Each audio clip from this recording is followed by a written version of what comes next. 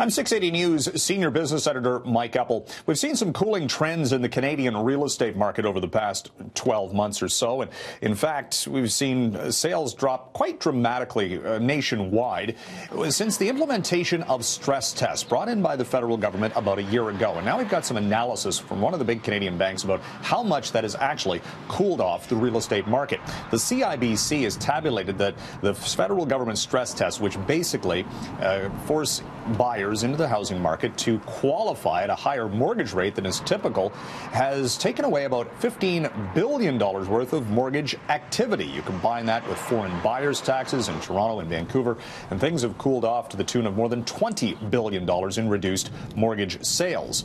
Now, sales have slumped for the past six months in a row across the country and dropped dramatically in Vancouver, which was, of course, at one time the hottest real estate market. Sales down 32% on a year over year comparable.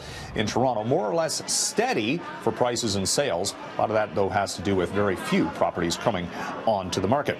One of the big Canadian banks saw its stock price hit a record today as the markets continued to advance to almost record highs. We saw the Royal Bank clear $105.50 per share. Banks have been uh, on the move to the upside consistently since the start of the year. One of the best performing sectors on Bay Street. Some solid earnings expected again. And the share price for the RBC year to date is up nearly 13 percent.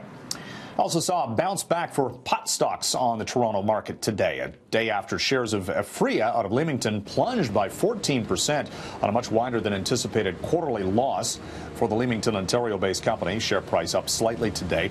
Best performer, though, was Canopy Growth as the company CEO Bruce Linton was talking at a conference on the cannabis sector in Toronto and forecast that Canopy this year on its fiscal will hit a billion dollars in sales, which is above consensus estimates from analysts. And that had the stock price up by better than 2%. And get ready for a jump of the gas pumps overnight here in the GTA specifically, but nationwide perhaps as we've got a forecast for Toronto prices to go up 3 cents to $1.27.9. Western Canada, though, has the highest prices on record in North America in Vancouver, where the price is now at a buck 70 per liter and expected to climb further again on shortage of gasoline in the market. In California, in the States, they're paying a lot too. $4 per gallon U.S., which is the equivalent of about $1.43 Canadian. From the 680 Newsroom, I'm Mike Eppel for City News.